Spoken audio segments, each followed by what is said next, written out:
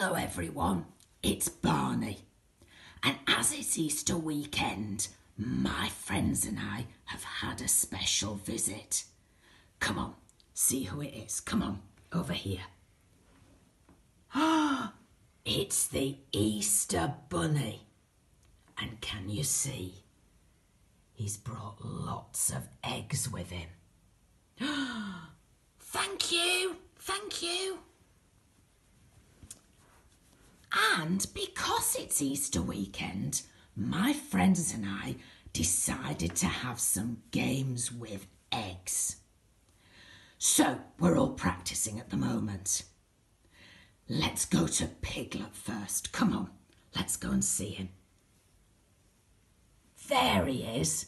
And look, he's got an egg in the chute, ready to see if he can get it in the bucket. and he's done it! Yay! Well done, Piglet! Well done! Do you want another go? I think he does. Get ready again. Let's see if he can do it. Get ready, Piglet. Get ready. and he's done it! I think Piglet might win that game. well done, Piglet.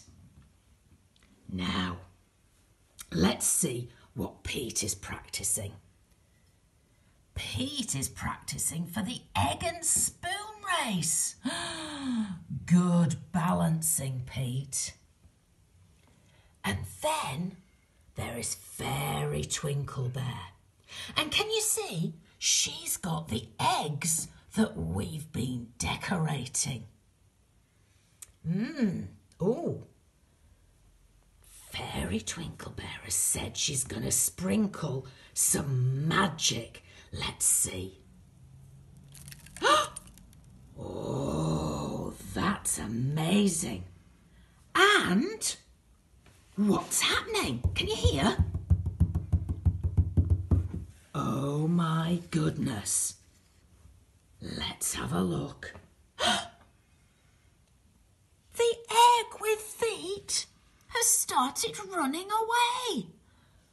Oh my goodness. And listen.